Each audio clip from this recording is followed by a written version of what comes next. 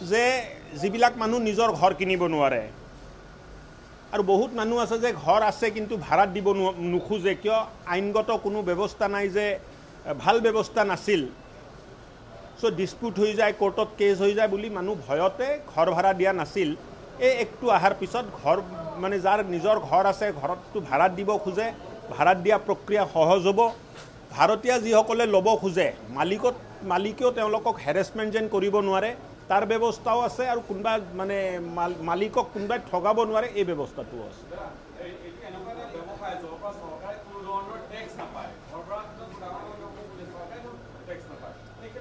ক'ত?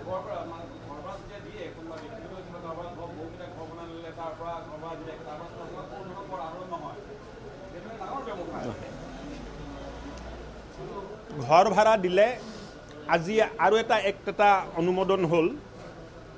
এই এক্টটো হ'ল আছাম মিউনিচিপাল এমেণ্ডমেণ্ট এক্ট আজি এটা আমি আনিলোঁ। আজিৰ পৰা প্ৰপাৰ্টি টেক্স আজিৰ পৰা প্ৰপাৰ্টি টেক্স চাৰ্কিল ৰেটৰ ভিত্তিত হ'ব। আগত কি আছিলে? গণেশগুৰিত এটা ফ্লেট আৰু আজাৰাত এটা ফ্লেট একে হোল্ডিং মানে প্ৰপাৰ্টি টেক্সটো একে আছিলে। বৰঞ্চ ইয়াত থকা ফ্লেটৰ দাম বহুত বেছি। আজাৰাত ফ্লেট আৰু গণেশগুৰিত ফ্লেট তাৰ মানে মূল্যত মই ভাবোঁ যে দুগুণতকৈও বেছি ফৰক হ'ব। কিন্তু প্ৰপাৰ্টি টেক্স একে আছিলে। আজি অনুমোদন দিয়া হ'ল যে চাৰ্কিল ৰেটৰ ভিত্তিত প্ৰপাৰ্টি টেক্স লগোৱা হ'ব আৰু যিবিলাক প্ৰত্যেকটো ইউ এল বিত এইটো প্ৰক্ৰিয়া থাকিব। দ্বিতীয় কথা হ'ল ইয়াৰ জৰিয়তে যিবিলাক পিছপৰা অঞ্চলৰ ইউ এল বিজবোৰ আছে তাত প্ৰপাৰ্টি টেক্স কমি যাব। য'ত চাৰ্কিল ৰেট বেছি আছে তাত প্ৰপাৰ্টি টেক্স বাঢ়িব।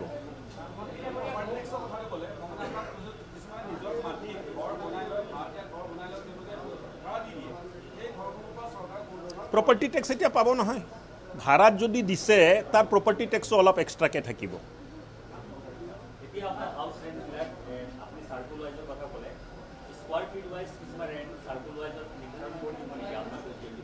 নাই। এইটোতো চৰকাৰৰ কাম নহয় কোন কিমান ভাড়াত ফ্লেট দিব এইটো যোনে ল'ব আৰু যোনে দিব তেওঁলোকৰ মাজৰ কথা। কিন্তু ডিছপিউট হ'ব নালাগে তাৰ কাৰণে এটা ভাল আইন আমি বনাই দিলোঁ।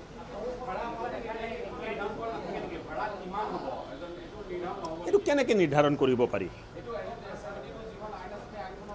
মানে চাওক এটা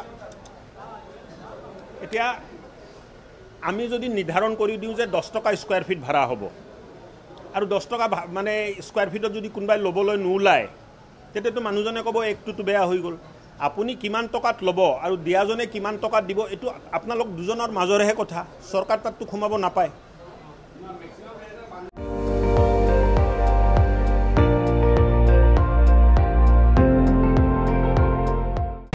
আপুনি চাই আছে এন ডি টুৱেণ্টি ফ'ৰ।